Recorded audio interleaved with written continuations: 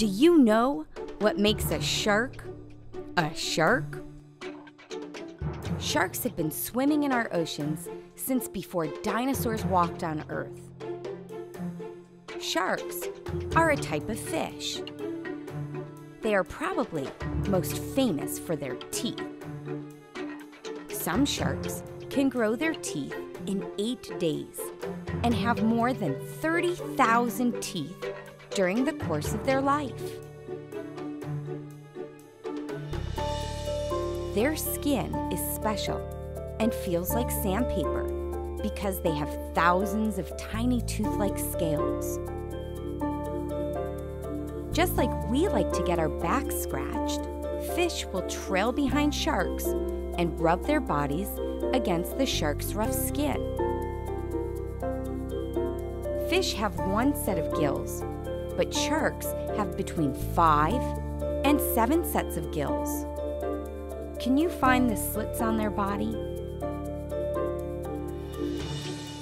The gills are what the sharks use to breathe. Sharks don't have hard bones like fish. Their bones are much softer. They are made out of cartilage. Other animals that belong in this family are rays. They are made of cartilage too. There are marbled rays, eagle rays, stingrays, and manta rays. And they are all fish.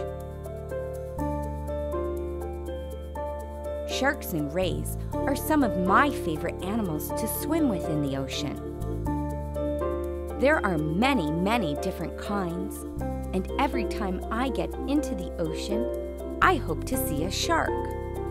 But there are less sharks in the ocean now. We must learn to understand sharks and protect them. Sharks need our help because too many of them have been fished from the sea. It is up to you and me to help these animals survive.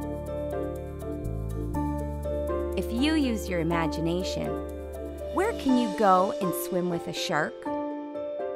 I know where I want to go